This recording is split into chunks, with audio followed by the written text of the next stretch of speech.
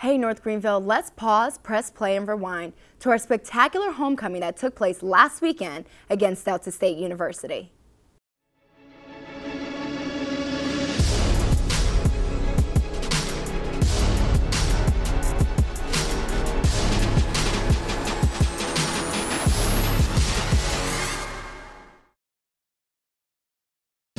As November 4th approached our campus last Saturday, Homecoming brought our school spirit to life in a whole new form.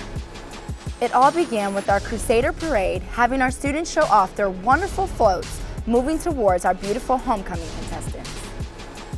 Our homecoming queen Eden was crowned at halftime. Our Crusader football team went to the wire, kicking a tying field goal to send our Crusaders into overtime.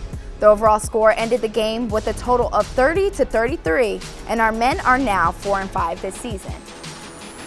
In other sports news, our women's volleyball team beat Mount Olive this week and will now be advancing to the Final Four. Our men's and women's basketball team will be playing away this weekend. Our women's team will be at Francis Marion, and our men's team will be playing at Newberry College. Stay tuned for other sports news that we have for you this week. I am Briana Mann, and this is your Vision TV Sports.